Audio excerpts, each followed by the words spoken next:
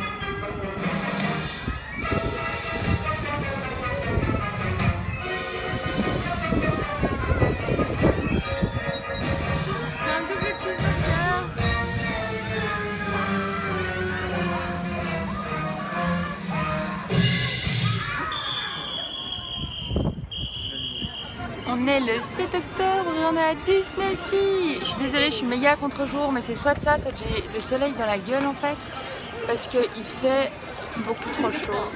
Je sais pas si vous vous rendez compte, mais on est en octobre hein, et euh, quand c'est le bleu, il y a du vent, du coup j'ai mon gilet, mais euh, quand le soleil tape, c'est. euh, Enfin bref, on, s'en fout en fait. Euh, ben là, on a déjà passé toute la matinée, il est 2h et euh, franchement, c'est super. Enfin, j'en parlerai un peu plus ce soir, mais euh, quand on dit que c'est le plus beau parc euh, Disney, c'est vrai. Il y a peut-être un peu moins d'attractions euh, à faire, mais euh, il est vraiment vraiment beau. Et, voilà, voilà, voilà.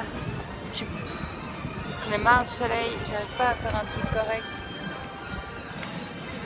Enfin donc, voilà. C'est vraiment trop beau. Je vous ai déjà montré la plupart de tout ça dans, dans la vidéo. Là on, se pose un peu, on regarde ce qu'on va encore faire, puis on mangera vers 3-4 heures parce que quand on a voulu manger à midi, ben, on a voulu manger à 11 heures en fait en se disant on va éviter la file de midi mais non. Il y avait à chaque fois des mastafiles jusqu'à d'heure donc bah, je suis vraiment désolée pour le soleil, ça ressemble à rien du tout. Du coup, je vais m'arrêter là. De toute façon, je pas grand chose à vous dire. Hein. Je vous ai euh, montré une bonne partie et c'est trop beau. Et voilà. Je vous dirai ce soir notre euh, pensée finale sur la chose.